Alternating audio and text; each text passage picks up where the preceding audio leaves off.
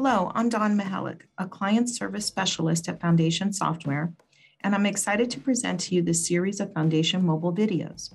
In this video, we will explore how to enter a single time card on an Apple device. Your system administrator has determined which fields you will have access to and may differ from the ones shown in this video. It is recommended that you set up your dashboard prior to this step for easy access to menus. If you have not set up your dashboard, you can access the menus by clicking on field logs at the bottom and then selecting the specific entry item, time cards and single time card. For the purposes of this video, we will assume that the dashboard has been set up. Start by selecting the Add Time Card tile from the dashboard. Click anywhere in the employee field you will be able to select from a list of employees that you have been given access to. If you only see your name, then the administrator sets you up to only enter time for yourself. Select the employee that you want to enter time for. Next, click anywhere in the job field. Again, you will be able to select from a list of jobs that you have been given access to. Select the job that you want to enter time for. Click anywhere in the cost code field. Select the cost code that you want to enter time for. Click anywhere in the earn code field and select the earn code that you want to enter time for. Then click anywhere in the date field. Choose the date that you are entering time for by scrolling on the month, the date, and the year.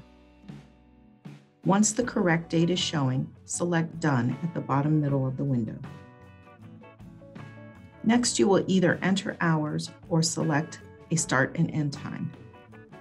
If entering hours, click anywhere in the hours field and use the keypad to enter the number of hours worked at the job, cost code, and earn code that day. Click Done when finished. If instead you are entering a start and end time, click on the yellow Select Time button and scroll to the time that you started. Click Done. On the next window, scroll to the time that you finished.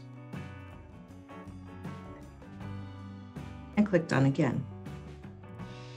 You may add a description for these hours by clicking anywhere in the description field. This will open a window where you can type in details. Click Done when finished typing. Click Done at the top right and click Save at the top right to save this time card. You may enter multiple time cards for the same employee each day as needed. And that's all there is to it.